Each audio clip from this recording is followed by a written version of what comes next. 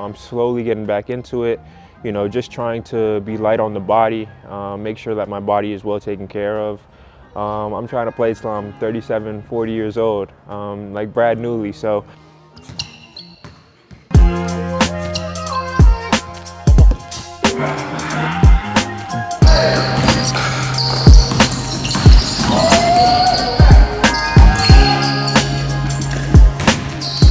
What's up guys? Xavier Rathan-Mayes here, former NBA, current NBL player. Just coming off a great season with Melbourne United. Follow along with me. I'm gonna take you through a day in the life, preseason edition.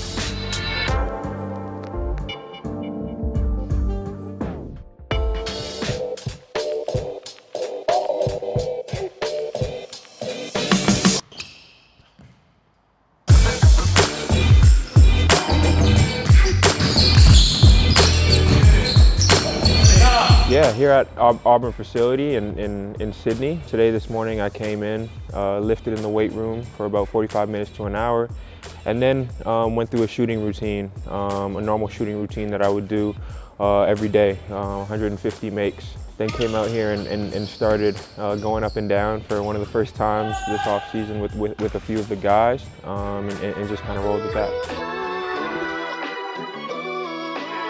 Man, off season has been great. I'm getting older now, so uh, it's been one all about relaxation and, and really trying to get my body right. Um, so this off season has off season been great so far. You know, one thing that I'm super blessed about is I've had the ability to work with some of the highest level strength and conditioning coaches and on-court trainers um, my strength and conditioning coach for the last three, four years is uh, PJF Performance. I, I, he's known all throughout the world, and he has been absolutely unbelievable. You know, there, we don't bench press. You know, we we don't do any of any of that stuff where we're training like we're you know high level NFL football players. You know, like all the things that I do in the weight room have to be transferable to on the court. You know, my knees and my ankles have to be able to, to bear weight of certain movements. You know, my I, I need to be able to put certain load on, um, on, on my body to make sure that you know I stay injury free. Knock on wood. Thank the Lord, I've never had you know a high major injury that's kept me out of you know any games. I pride myself on being a guy that can you know play uh, through a whole season and, and be um, available. Avoid picking outside, especially on your heads you pull up. Avoid going here and picking it up here. Let the ball come to your pocket. Yeah, come to your pocket. Up. I've found a lot of comfort in my routine and in the things that I do daily. This for me is is my career, it's my, my life and you know for me to be able to come in every single day and go through a routine that um, not only pushes me but you know keeps me grounded um, and and you know really allows me to take my game to the next level It's been um, has been really good and it, it, makes me feel good to know that I can come in and go through the same things. Obviously you tweak things here and there and you, you do th different things, but um, we always have a base um, and we always have a routine that we do day in and day out. I'm Nay from Breakdown Basketball. Um, run a training business, started in March 2021 and I had the privilege to get X out with me once he signed with Illawarra Hawks, which was a great opportunity and our friendship's just blossomed, been two years now running strong anytime off season comes back to me, so we're here.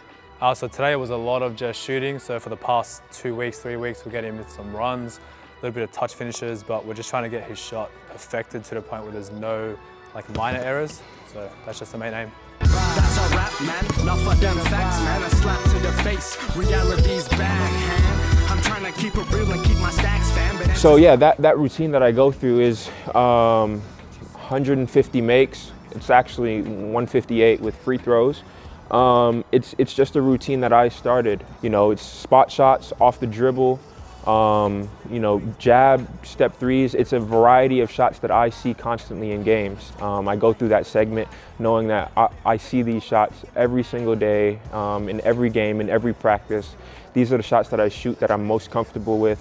At the end of it, I extend to half court, you know, um, a step or two in from half court. And I started working on that with one of my trainers back home in Canada, um, Vlad, where we, we started extend, extending range to where I, it becomes really hard to guard me if I'm shooting from, from that deep. So uh, just making sure that my, my touch is always right and making sure that I, I can shoot those shots, whether it's um, at the end of clocks, buzzer beaters, whatever it is. Um, just making sure that those shots are never going to be foreign to me. Up, Q. at the tippy top of my game, looking down at the rafters. I had to son these boys, can't leave them bastards. A lot of dudes, just some undercover actress. I don't fall for it, I'm privy to all your tactics. Yeah, so try again, this time take a vitamin. Yeah, invite them in, welcome to the Lions Den. And I'm Mufasa, big boss in charge of. Coming in like a bull, you see me raising the stock up. Uh. Yeah. so I, I, come from a culture in Canada and in the US where um, basketball is end all and be all basically. Um, and you know, like I said, in Australia, it's it's a growing culture. Basketball is, is growing. It's, it's right up there. Obviously, with the TV deals with the NBA, NBL now is has been great. Um, but rugby is still top of the top in, in you know in, in Australia. So in the AFL, um, being in Melbourne, you know, seeing the AFL. So um, I would love to, to be able to come here and bring a little bit of that culture, um, you know, bring a little bit of that excitement uh, with, with, basketball. I want to, you know, obviously do, do a few camps. Um, I want to start doing some private uh, high-level runs here for the, the pro athletes in Sydney. I want, you know, Sydney to be a place that um, the Australian pros want to come home to and, and they have you know, um, a place to go and have high level runs and be super competitive and, um, and do all those things. I think the infrastructure for Australian basketball is there.